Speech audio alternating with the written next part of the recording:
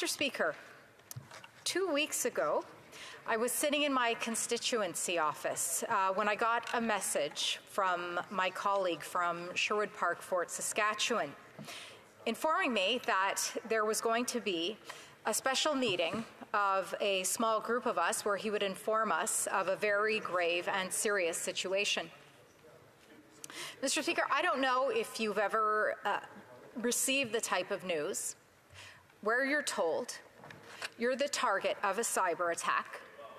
But I'll tell you, it's terrifying. It's one of the moments in your life where the blood drains from your face. And as soon as you know the date, January 2021, you wonder, what was I doing that month? What was going on in my life that month? How serious is this attack? It's, it's something I don't want anyone to ever experience again in this chamber or anywhere else in the world, Mr. Speaker, but unfortunately, it happened. You start to wonder then, if this happened to me, this also happened to other colleagues in the House of Commons, then clearly this is also happening within our nation. Who is attempting to obtain what information? And how successful are they? How many attacks like this are going on at this time? And worse than that, Mr. Speaker, this government knew about this attack, and yet they didn't inform me, and they didn't inform my colleagues. It's reprehensible. It's absolutely horrible. I thanked in a video, and I'd like to thank again the Interparliamentary Alliance on China for informing myself and my colleagues that we were the targets of such an attack. I'd also like to thank the Federal Bureau of Investigation of the United States of America for once again doing the heavy lifting that this government should be doing. It's shameful that we should be informed through foreign governments that we are under attack. But unfortunately, Mr. Speaker, it's not a surprise to me. It's not a surprise at all, because we found out just this past week in the Foreign Interference Report that the former member from Steveston, Richmond East was not successful in his election campaign as a result of foreign interference. We saw last year, Mr. Speaker, the effects of a foreign government, the same government, the PRC, on the member for Wellington Halton Hills, who sits in this very aisle, Mr. Speaker, who was also the victim of the interference of a foreign government in an attempt to try and gain information on his family and try and intimidate him. But unfortunately, Mr. Speaker, I had the honor of being the shadow minister for democratic institutions back in 2018, 2019. And it was that time, Mr. Speaker, I begged the member for Burlington to do something about it at that time, and it fell upon deaf ears, Mr. Speaker. You know, we set up things like the Debates Commission, which housed a member of the We charity scandal and was overseen by the former special rapporteur who clearly failed in his mission to try and keep this chamber safe and to keep Canadians safe. We saw the implementation of the toothless, the toothless digital charter, which achieved nothing to protect Canadians and to protect members of this House. We spent hours going over Bill C 76, Mr. Speaker. Bill C 76 where we talked about things like vouching. We talked about things like returning officers.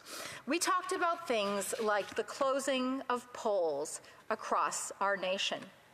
And yet, Mr. Speaker, this did very little, very little to solve this problem that is in front of us now, which is again foreign interference, and once again, the absence of responsibility of this government to not only do something about foreign interference, but even to have the courtesy, to have the decency, to have the moral placement to, to, let members of this House know that they were under attack and under threat.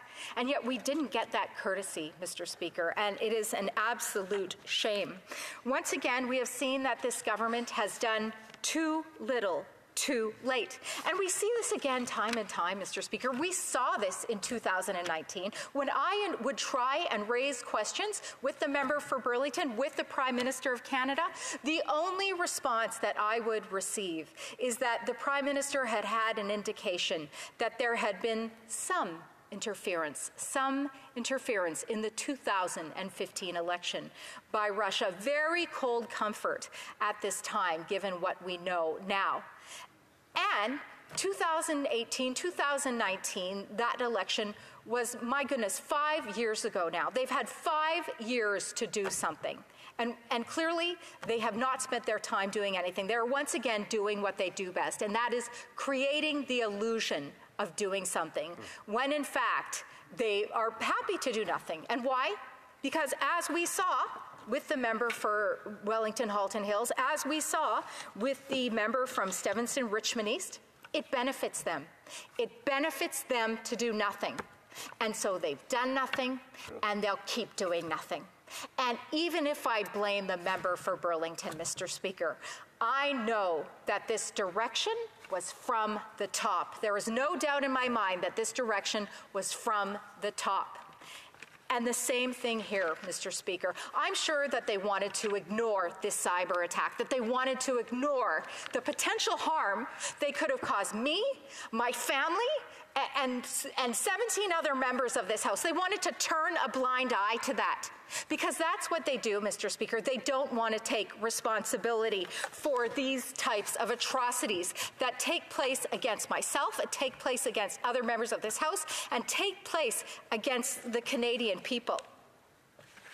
Well, the good news about this, Mr. Speaker, is that this will not deter, deter, myself, and this will not deter the leader of the official opposition for continuing to stand up for democracy, human rights, and the rule of law, not only in this nation, but across the world as well.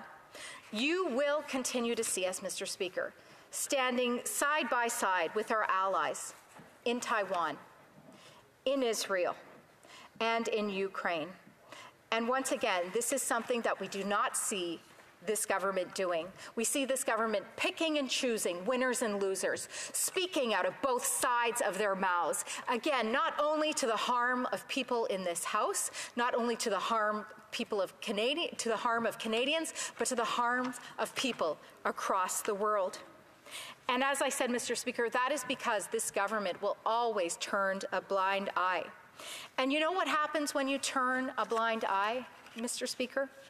Evil prevails. Evil prevails in, in this House when this government turns a blind eye. Evil prevails across this country when this government is not willing to take responsibility, as I begged the member of Burlington to do uh, all of those years ago. And evil prevails uh, across the globe.